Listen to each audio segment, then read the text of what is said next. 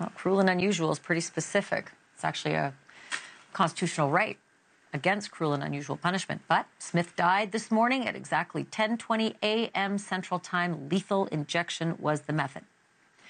Uh, he told us this week that he did not request a last meal, though he really didn't explain why. And then, when asked whether he had any last words, he reportedly said this Nah, I'm good. He had one person by his side and only one person, Reverend Jeff Hood, his spiritual advisor. And Reverend Hood is kind enough to join me live now.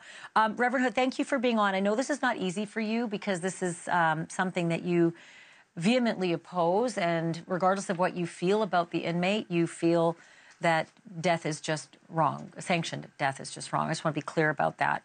Um, I'm not going to ask you to weigh in on the guilt or innocence of, of Michael Smith, but I do want you to explain to me sort of what happened today, the, the, the whole play by play. Sure, Ashleigh. Thank you so much for uh, having me once again. You know, this is, uh, I'm, I'm very aware that Michael Smith is, uh, is not the most sympathetic of figures.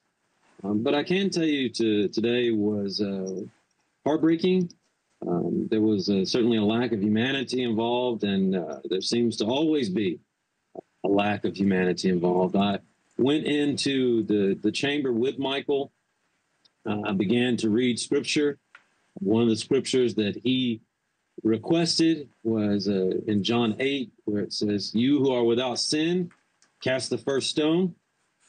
Uh, we read the 23rd Psalm, where it says, Thou anointest my head with oil uh, I applied oil to uh, Michael's forehead, and we talked. He said he wanted to uh, let um, his family know that he loves them.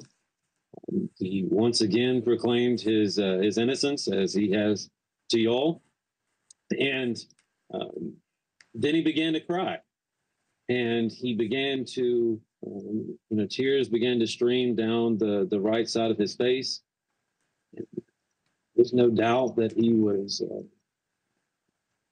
I, mean, I can't speak to whether he was frightened or not, but I do know it was a an incredibly uncomfortable uh, moment, and uh, you know, I felt like I was I was trying to provide peace, but uh, you know, it's a very difficult thing to do uh, when you're in the midst of uh, someone who's you know got IVs running out of them. You know, they're strapped down to a table. The execution um, proceeded and as uh, as the execution proceeded, I expected him to make a last statement. Um, I expected him to to once again proclaim his innocence, and so I was particularly surprised when he didn't. Um, as we proceeded forth, um, the the once they decide whether or not they're going to make the last statement or they make the last statement, at that point, that's when the poison is uh, is supposed to start flowing, and it's supposed to be relatively quick from there. Um, this was uh, a little slower than what I've experienced. Uh, as you know, this is my uh, sixth execution in 14 months. Uh, so I, you know, I've seen this many times, and how this is supposed to go. It was, uh, it was, it was slow. Um, I think one thing, actually, I did want to point out is that um, in Oklahoma, uh, one of the, the folks that I saw when the curtain came up uh, was Attorney General Gentner Drummond. And uh, Gentner Drummond and I, we uh, probably agree on very little. Certainly disagreed about whether or not this execution should take place. But one of the things that Attorney General Drummond brings to uh, this space when he attends these executions is the fact that you know a lot of people who are involved in handing down these punishments do not witness these things. They don't engage in these things.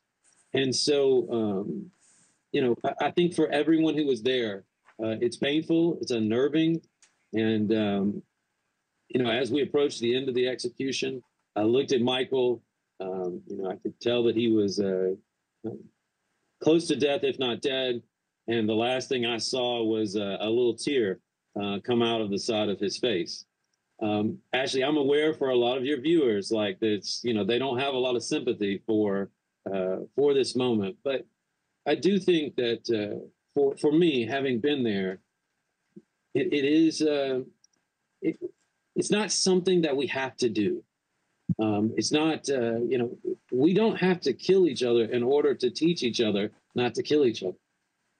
And I think that that was something that was reinforced uh, in me today. And lastly, I'll say that um, when I was on my way home from uh, McAlester back to Little Rock, someone having um, this image of, of, Michael saying, you know, why didn't you help me? Um, you know, just it's an incredibly haunting and, and, difficult thing to watch someone die and feel like uh, you were you were supposed to preserve life. And and I know that uh, with the victims, um, you know, I feel the same level of, of devastation. Thank you for watching. Go to newsnationnow.com to find News Nation on your television provider. And don't forget to click the red subscribe button below to get more of News Nation's fact driven, unbiased coverage.